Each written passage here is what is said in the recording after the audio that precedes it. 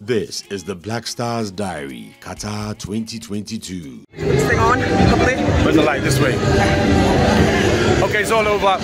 And you see all the beautiful girls are here supporting the Black Stars. How did you see the girl? The, g- the girl, the game? Oh, it was amazing. Oh, I was stressed the whole time, but Ghana did amazing.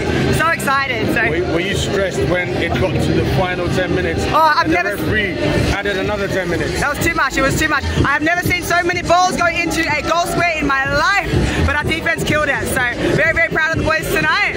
Very proud to be Ghanaian and very proud to be from Africa. Woo! How far, how far have you traveled to get here? From Australia, so a good 14 hours. Wow. 14 hours flight straight. What's your Ghanaian origin? A dad from Mampong. Wow. Yes, he's around here somewhere, but Awesome. I've obviously been occupied with all the beautiful Ghanaian men. Awesome. Yeah, your full name? Uh, Takara Osei. Tikara Osei. Osei, yes. Brilliant. We party